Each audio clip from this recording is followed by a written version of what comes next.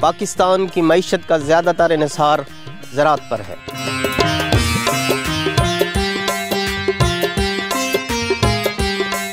مگر زراعت کو کس طرح جدید خطوط پر استوار کرنا ہے، اس کے بارے میں بتائیں گے ہم زرعی ماہرین اور ترقی پسند کاشتکاروں کے ساتھ۔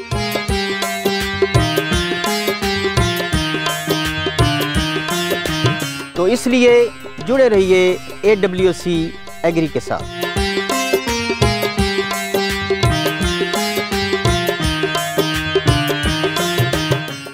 بسم اللہ الرحمن الرحیم۔ السلام علیکم ناظرین۔ اے ڈبلیو سی ایگری کے ساتھ میں ہوں آپ کا میزبان طاہر ندیم۔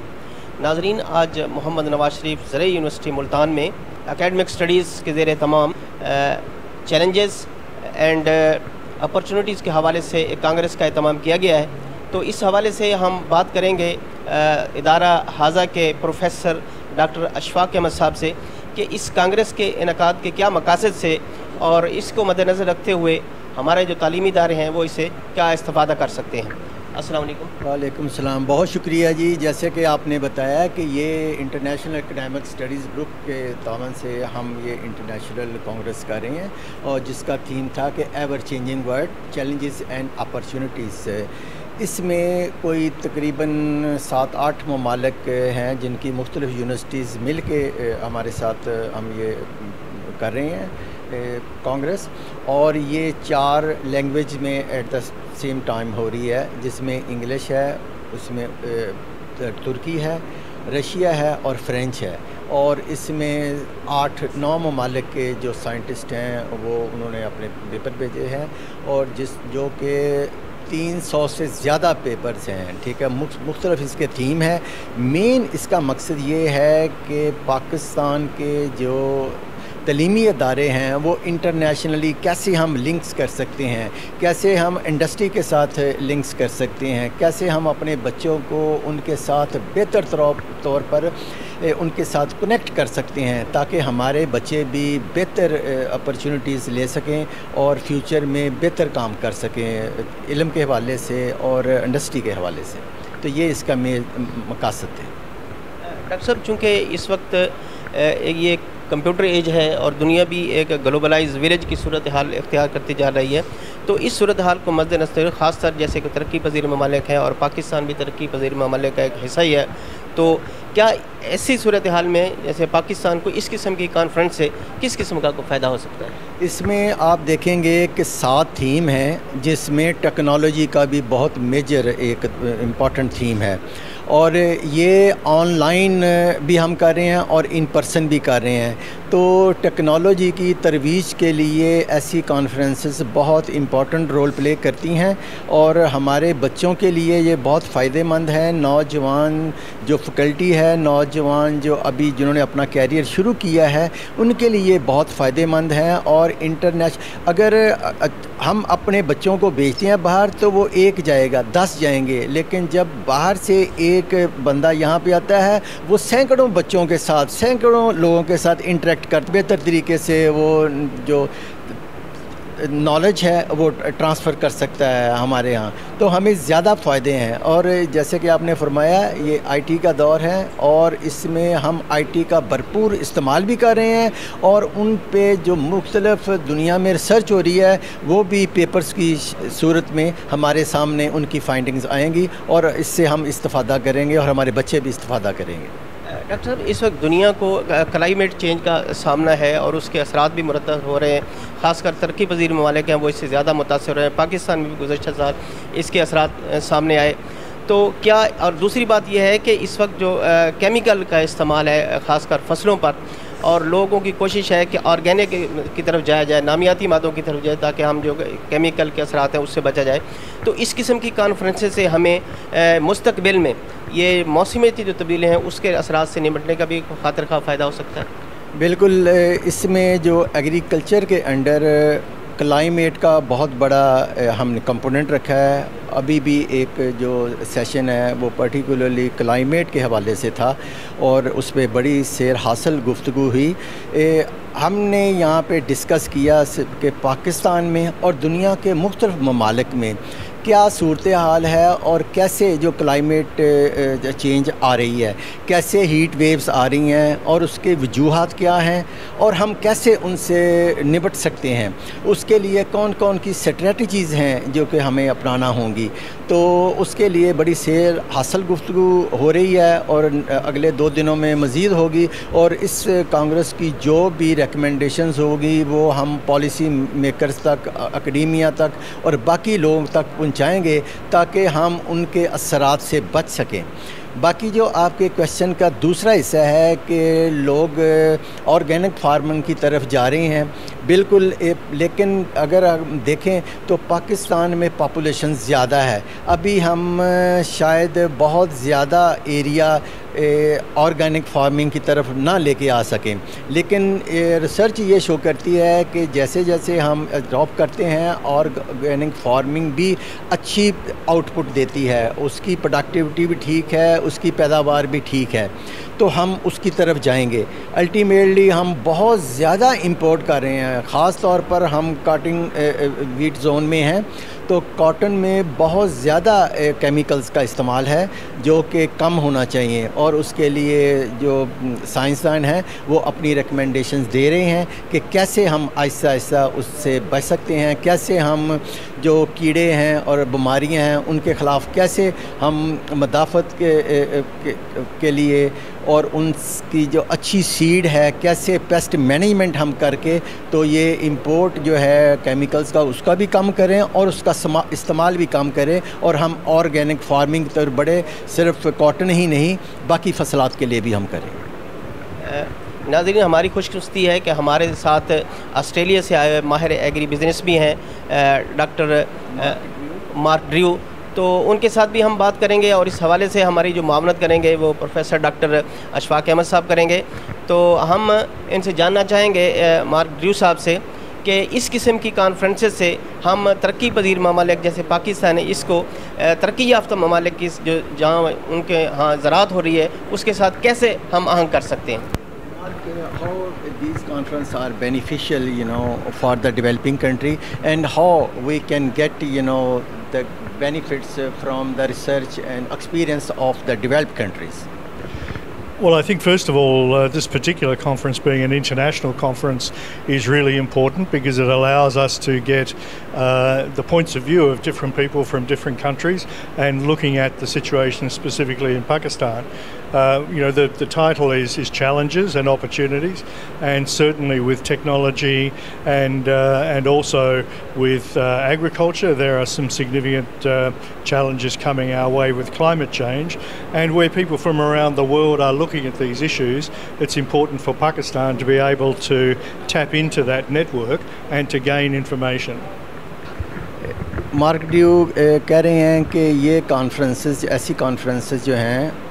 یہ وہ بہت زیادہ اہمیت کی حامل ہیں، یہ بہت رول پلے کرتی ہیں، خاص طور پر پاکستان میں جو کہ ایک زرعی ملک ہے اور کلائمیٹ چینج جیسے آپ نے کہا کہ وہ اس کا بڑا ادھر اثرات ہیں۔ تو جو ترقی یافتہ ممالک کی ریسرچ ہے ان کے جو تجربات ہیں، اس سے کافی پاکستان جیسے ممالک جو ہے وہ سبق حاصل کر سکتے ہیں اور وہ اپنی یہاں کی زراعت کو اور باقی جو معاملات ہیں کلائمیٹ چینج جیسے فوڈ سیکورٹی ہے، جیسے ٹیکنالوجی ہے، اس میں اپنے آپ کو بہتر کر سکتے ہیں۔ ہم یہ بھی مارک ڈور صاحب سے جاننا چاہیں گے کہ اس وقت جو پاکستان میں خاص کر کوشش کی جا رہی ہے کہ یہاں کاٹن کی ریوائول کی جائے، کیونکہ یہاں کاٹن کو خاصے مسائل کا سامنا رہا، جس میں کارلی وائرس تھا۔ سفید مکھی تھی یا ملی بگ تھا، اس قسم کے مسائل کی وجہ سے بہت ہماری جو پیداوار کم ہوگی۔ تو کیا ہمارے جو سائنسدان ہیں یا ہمارے ایمرجنگ سٹوڈنٹس ہیں اس فیلڈ میں، زراعت کے فیلڈ میں، وہ ہمارے ہاں زراعت کی ترقی، خصوصاً کاٹن کی بہتر پیداوار کے لیے کس قسم کے رول ادا کر سکتے ہیں؟ Cotton is uh, you know important crop of this area and uh, it is uh, we are trying to revive the cotton. And uh, there are so many challenges in the past like curly virus like white fly yes. like pink ball worm. So do you think that pakistan could revive in this sector? And what are you know the good strategies to achieve all those objectives particularly for the young scientists and for the students I think from a, the point of view of cotton in Pakistan, clearly cotton is a very, very important crop for Pakistan. And there are some key issues, particularly in terms of insect control in cotton. Uh, in Australia, for instance, we used to spray 40, we used to apply 14 or 16 sprays every season for insects. Now we only apply about three, two to three. And the reason for that is genetics.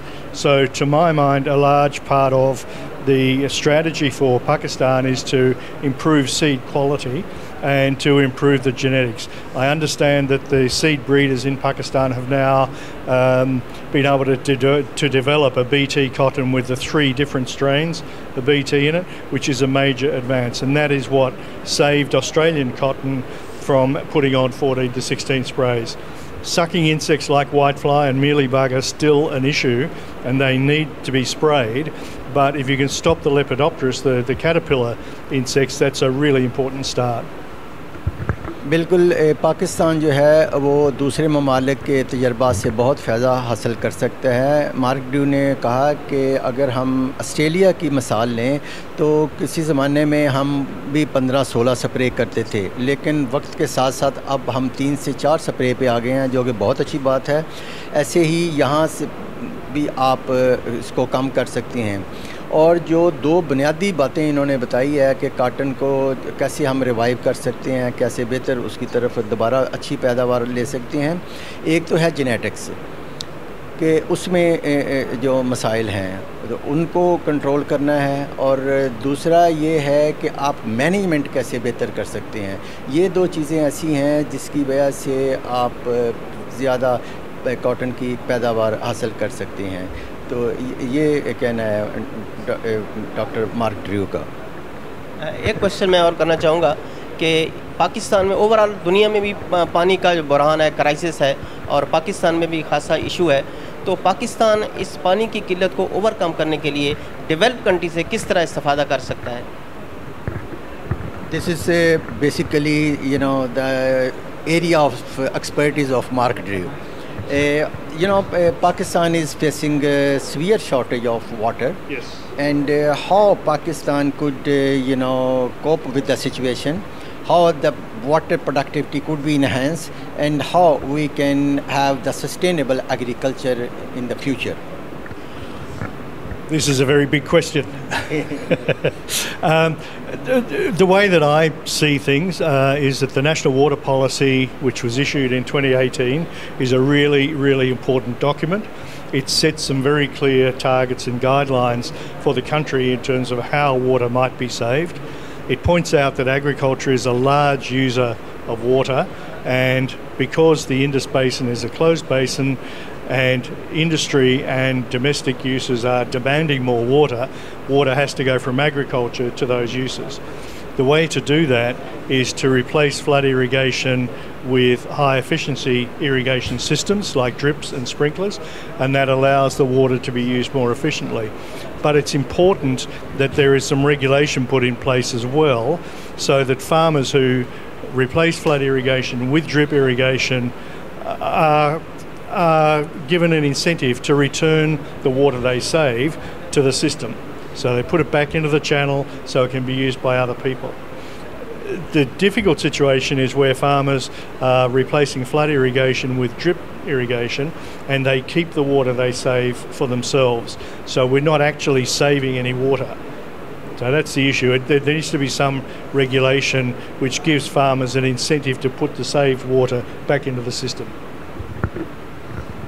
Mark Dew کہتے ہیں کہ یہ بہت important question ہے اور مشکل بھی ہے اس کا جواب بھی دینا۔ لیکن جو پاکستان کی واٹر پالیسی ہے، جو کہ دو ہزار اٹھارہ میں گورنمنٹ آف پاکستان لے کے آئے ہیں، وہ بہت اچھا ڈاکومنٹ ہے، جس میں آبجیکٹیوز دیے ہوئے ہیں اسٹریٹجیز دی ہوئی ہیں کہ کیسے ہم نے وہ ٹارگٹس وہ آبجیکٹیوز اچیو کرنے ہیں، کیسے حاصل کرنے ہیں وہ، ٹھیک ہے؟ اور اس کے لیے جو ہے، وہ ہائی ایفیشنسی اریگیشن سسٹم جیسے ڈرپ ہے، جیسے پرنکلر اریگیشن سسٹم ہے، اس کی طرف جانا ہوگا اور ہمیں جو ہے، فلڈ اریگیشن سے بچنا ہوگا۔ اور خاص طور پر جو ہائی ویلیو ایگریکلچر ہے، اس کے لیے یہ دونوں سسٹم جو ہے نا، ہائی ایفیشنسی اریگیشن سسٹم، یہ بہت اچھے ہیں۔ اچھا ایک اور بات وہ کہہ رہے ہیں کہ جو پانی بچتا ہے، فارمر بچاتے ہیں، وہ سسٹم میں دوبارہ نہیں جاتا۔ وہ فارمر خود ہی استعمال کرتا ہے، تو حقیقت میں وہ پھر سیونگ نہیں ہے، ٹھیک ہے؟ تو وہ کہتے ہیں کہ ہمیں جو نا سیونگ وہ کرنی چاہیے۔ ایک اور بات انہوں نے کی ہے، وہ ہے کہ ٹیوبل۔ ٹیوبل پہ جو لیجسلیشن کوئی نہیں ہے، جتنا چاہیں آپ ٹیوبل کا پانی استعمال کر رہے ہیں کرتے رہے ہیں۔